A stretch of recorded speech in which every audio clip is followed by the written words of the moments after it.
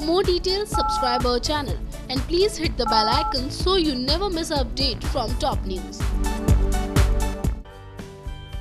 Naagin three में देखने को मिल रहा है खूब सारा ड्रामा, जहाँ आने वाले ट्रैक में आप देखेंगे, माहिर के सामने आएगा बेला के नागरानी, होने का पूरा सच, जिसके बाद माहिर बेला के सामने करेगा नाटक ताकि बेला अनजान रहे और माहिर अपने सीक्रेट प्लान से बेला के मकसद को नाकाम साबित कर सके। लेकिन क्या होगा, अब बेला के खिलाफ माहिर की चाल, ये पूरी जानकारी देने से पहले आपको पिछले ट्रैक के बारे में बता देते हैं, जहाँ तक आपने देखा किस तरह से कहानी में दर्शकों को जिस दिन का इंतज़ार होता है, आखिरकार वो दिन आ ही जाता है, जहाँ बेला अपना असली रूप दिखाती है। वहीं आपने देखा, किस तरह से सच आता है सामने की विश बेला के कहने पर करती है सब कुछ।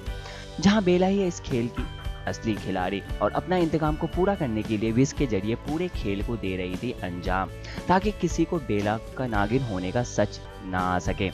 वहीं आने वाले ट्रैक में आप देखेंगे, बेला खुद करेगी माहिर पर हमला। जी हाँ कुछ खबरों की माने तो बहुत जल्द आप देखेंगे माहिर के सामने आएगा बेला का पूरा सच, कि बेला भी नागिन है।